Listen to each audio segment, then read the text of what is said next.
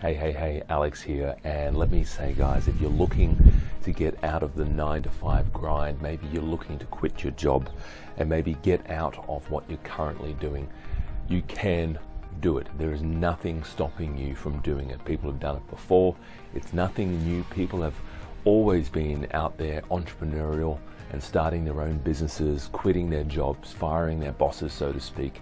There's nothing stopping you from doing it as well. They weren't special, right?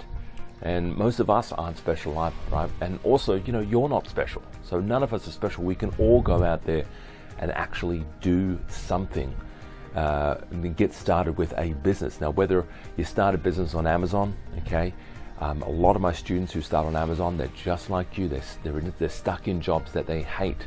They're stuck doing things that they don't want to do. Every day they're going to a job that they literally, they literally hate. And they want to get out of it and they're getting out of it. And people every day who are joining the ranks of starting businesses, you know, on Amazon, they are quitting their jobs and they're getting things started. They're getting their lives uh, moving. All right, they, they're living. They're starting to live with more freedom. They're starting to travel more. They're starting to spend more time with their kids. So you can do it. Give yourself permission to go out there and get something started. You just need to do something every single day that it takes you a little bit closer to your goal. All right, so that's it for today. Very short video. You can do it, guys. Take every a step every day to take you closer to your goal. Bye bye for now.